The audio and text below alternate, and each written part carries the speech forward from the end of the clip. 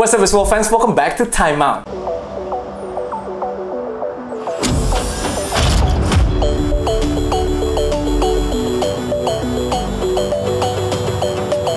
Balik dengan Gorky Padilla, kita kembali ke info basket harian untuk edisi 21 Agustus 2020.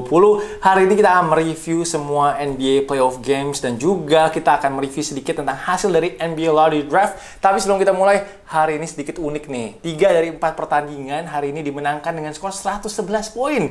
Hampir aja clean sweep kalau Miami Heat bisa mencetak 2 poin lagi. Tapi itu hanyalah stats yang sangat aneh dan gue hanya ingin share ke kalian semua.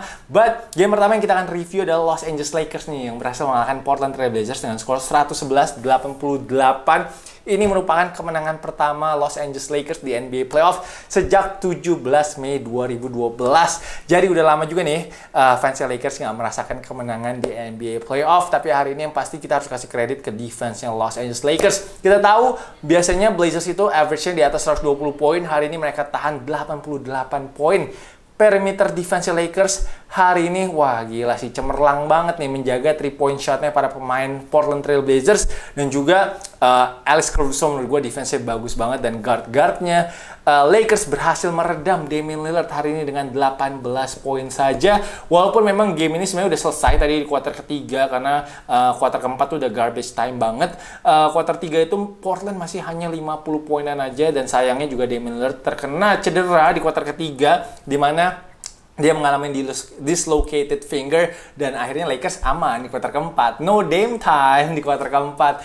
Dan uh, hari ini Lakers menurut gue uh, make a statement sih untuk Portland Trail Blazers. Kita tahu di game pertama orang udah overreact semua dia bilang wah Lakers akan kalah nih Lakers akan kalah di seri ini tapi Lakers hari ini bener-bener ngasih statement bahwa mereka masih bisa dominan banget walaupun LeBron James hanya 10 poin aja. Menurut gue ini sign yang luar biasa banget ya. Jadi Lakers nggak perlu mendomin eh, nggak uh, perlu LeBron yang mendominasi pertandingan untuk memenangkan sebuah game di playoff. LeBron 10 poin tapi Lakers tetap menang dengan margin 23 poin. So you think about that. Menurut gue itu luar biasa banget sih statsnya. Nah, lalu di sini juga AD Anthony Davis berhasil bounce back di mana dia kita tahu menerima sekali banyak kritikan pedas di game pertama.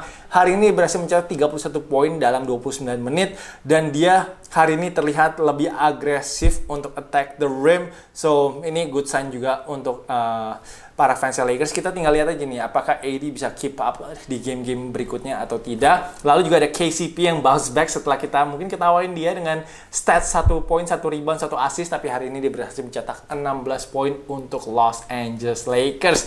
Oke, itu untuk Lakers. Sekarang kita pindah ke Portland. Menurut gue Portland hari ini dari awal game aja tuh udah nggak ada apa ya gak ada energinya gitu menurut gue dan juga Nurkic, Whiteside, Melo hari ini kayak bener kayak nggak ada semangatnya untuk bermain. Melo hanya dua poin aja.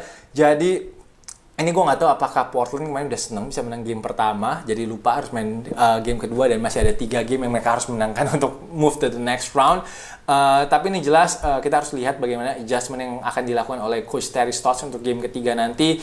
Karena menurut gue agak susah juga kalau mengharapkan Damian Lillard untuk mencetak 40 poin setiap gamenya. Ini harus jadi team effort jadi pemain-pemain pemain-pemain lainnya pun harus step up dan Terakhir update untuk Portland tentang Damian Lillard yang dislocated tadi fingernya, Damian udah mengeluarkan statement bahwa dia akan tetap bermain apa pun situasinya nanti untuk di game ketiga. So that's a good sign untuk para fansnya Portland Trail Blazers. Oke, sekarang kita akan pindah ke Houston Rockets nih yang berhasil mengalahkan OKC Thunder dengan skor 111-98 dan ini merupakan satu-satunya prediksi gue yang salah hari ini dan gue mungkin masih meng-underestimate nih kekuatannya Houston Rockets. Dan menurut gue Houston Rockets mungkin adalah defense yang terbaik mungkin di NBA saat ini dengan semua line up-nya mereka.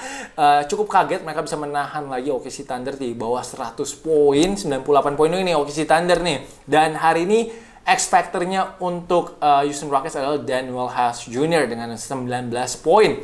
Uh, Harden sedikit struggling dengan shotsnya dia uh, bersama Eric Gordon. Eric Gordon 0-10 3 point shotnya, sedangkan Harden 2 dari 11 3 point shotnya. Jadi combine adalah 2 dari 21. Tapi Harden tetap bisa membuat impact yang besar di lapangan dengan pergerakannya dia dan juga dia mencetak 9 assist dan 0 turnover.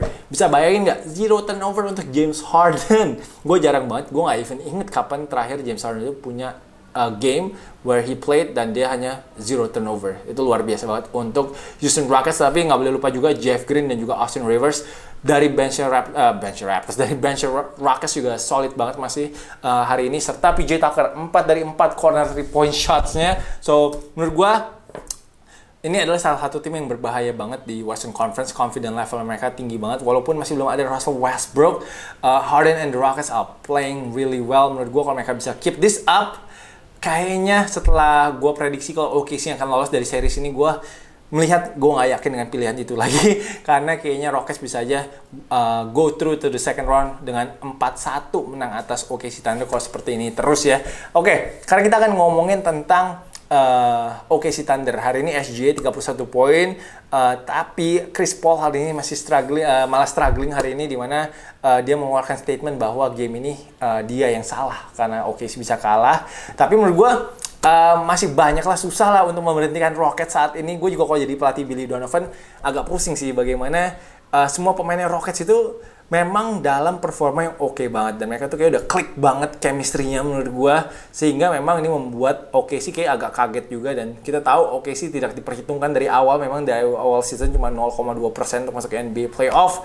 So kita harus lihat nih Chris Paul, Steven Adams man, they need to step it up for the OKC Thunder. Sekarang kita akan pindah ke game ketiga yaitu Milwaukee Bucks nih yang berhasil memenangkan pertandingan dengan skor 111-96 atas Orlando Magic Milwaukee Bucks menang jauh atas Magic, tapi gue gak convince dengan performance-nya mereka di lapangan menurut gue.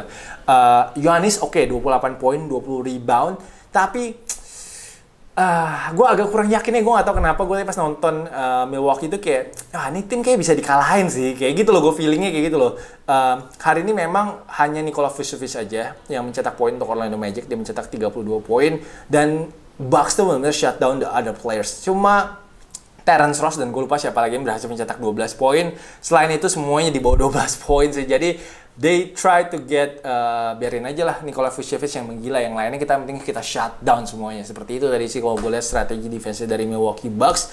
Um, tapi unsung hero-nya memang untuk Milwaukee Bucks hari ini adalah Pat Connaughton yang berhasil mencetak 15 poin. Dia energinya juga luar biasa banget ya untuk Milwaukee Bucks. But the All-Star maximum contract player Chris Middleton. Where is he now? Dia cuma mencetak 2 poin aja, satu dari 8 field goalnya. So Yanis nih tadi sebenarnya menurut gue bagus banget ya bagaimana dia distribute the ball untuk teammates-nya dia, tapi tembakan teammates ini harus masuk nih. Apalagi Chris Middleton. Udah 2 game 5 dari 20 untuk Milwaukee Bucks. So gue nggak yakin tuh sama tim Milwaukee Bucks ini nggak tahu kenapa gue punya feeling di game ketiga nanti tuh bisa kalah loh si Milwaukee Bucks ini dari Orlando Magic ataupun gamenya masih bisa tipis-tipis aja gitu jadi sebagai the best record in the NBA mereka harus lebih dominan sih karena kita tahu memang beberapa akhir atau akhir-akhir ini memang uh, Milwaukee Bucks ini kayak ada something yang not in sync gitu menurut gue sih. So itu dari Orlando Magic melawan Milwaukee Bucks. Sekarang kita akan pindah ke Miami Heat yang menang 109-100 atas Indiana Pacers.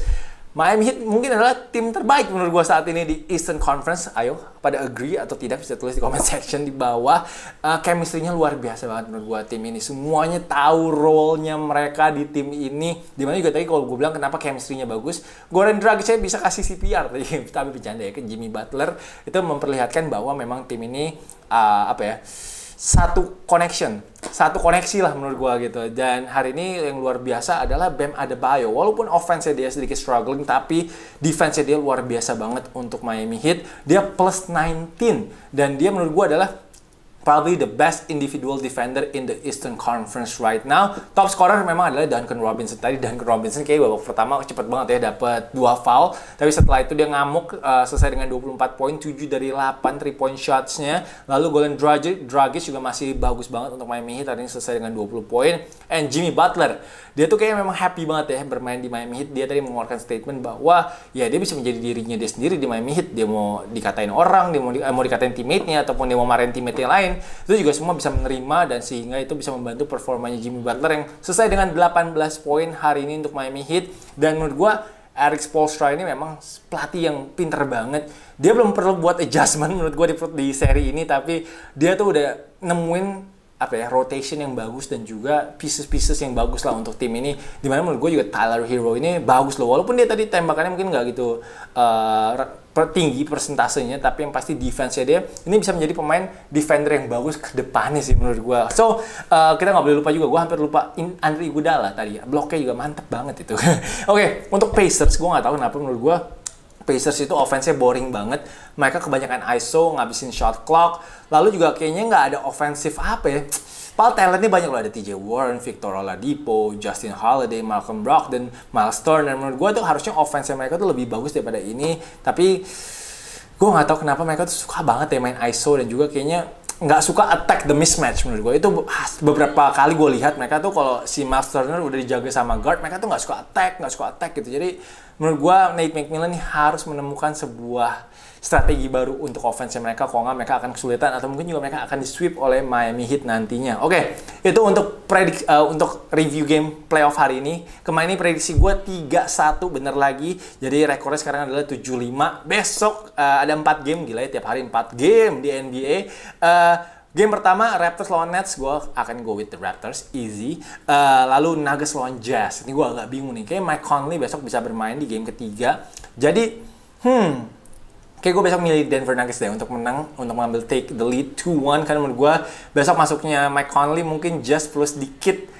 uh, apa ya, sedikit adjustment mungkin dengan masuknya Mike Conley. Karena menurut gue kemarin pasti Donovan Mitchell jadi PG itu lumayan bagus sih, lumayan efektif untuk Utah Jazz. And then ada Celtics lawan Philly, kayak Celtics akan menang 3-0 nih. Waduh.